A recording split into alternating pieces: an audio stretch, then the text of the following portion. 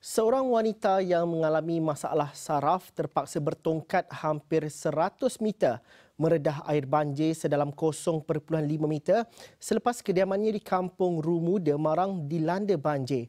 Nur Fazilah Muhammad Zain berkata, ketika itu dia berada bersendirian di rumah manakala suaminya sedang bekerja dan dua anaknya pula yang berusia 6 serta 9 tahun berada di rumah nenek mereka. Katanya semakin lama paras air semakin naik sebelum adiknya datang membawanya berpindah ke rumah ibunya kira-kira jam satu tengah hari pada Kamis. Petang tengah hari tengah dia. Tengah hari dia satu. Saya duduk seorang rumah saya. Uh, lepas tu, uh, adik orang ambil.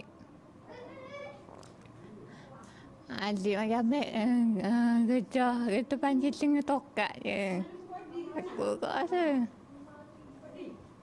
Ya. bila air naik, naik tinggi gitu? Memang lah. Air naik. Apa tu tu. Itu dengan adik lah. Apa momok. Uh, orang pintu. Apa pintu tu. Kakak sampai sini lah.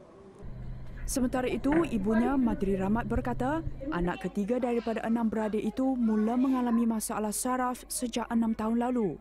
Ha, masa itu lebih kurang dalam pukul satu, saya tengok air cepat sangat naik. Maknanya saya ni ingat ke dia, suami tak ada.